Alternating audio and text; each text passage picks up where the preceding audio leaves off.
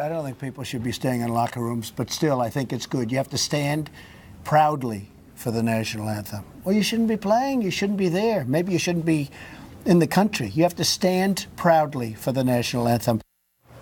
That was President Trump responding to the NFL's new anthem rule that teams or players will be fined if they don't, quote, show appropriate respect for the anthem. Christine Brennan is here, a sports analyst and sports columnist for USA Today. I was stunned listening to this at my desk this morning. Deportation for exercising a First Amendment right of kneeling for the anthem. Is that what you heard the president suggest as even a possibility? We are replaying, Poppy, what we, we saw in late September in that Alabama Senate race when Trump issued that, that infamous line, the SOB line, that triggered all of this here we are again. The NFL, I think, has done exactly what it never wanted to do. Uh, I don't know if they thought this through. I can't believe the owners did this. They have now ensured that this story will be like a drumbeat every day now through into September.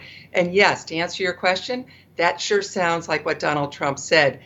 It's truly unbelievable that the owners then sided with him. We understand all the controversy, but he's it's all ginned up all over again. This none of this had to happen. Yeah, you know, the controversy uh, didn't go away, but lessened as the season went on, right? And so it, uh, it just, why is it all coming back to the fore now?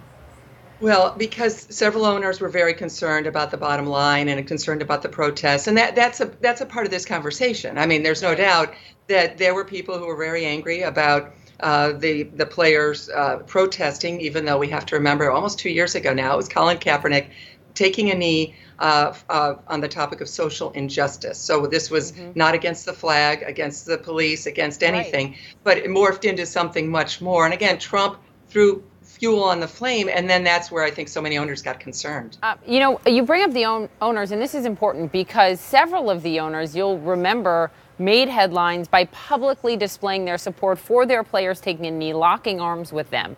Yet this vote by the owners to change the rules here and impose fines on anyone that chooses to kneel uh, was unanimous. So there was quite a reversal. There was uh, at least one abstention, but yes, absolutely. I think I think the owners don't know what to do. Mm. I, I think that Trump has turned everything upside down.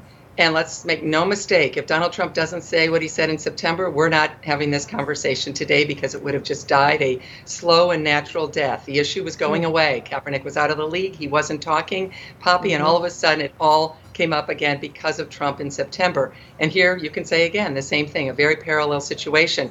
And I think we're going to see a parallel situation moving forward. Mm-hmm. I think players who weren't going to protest now will protest. You do. Can they hold signs?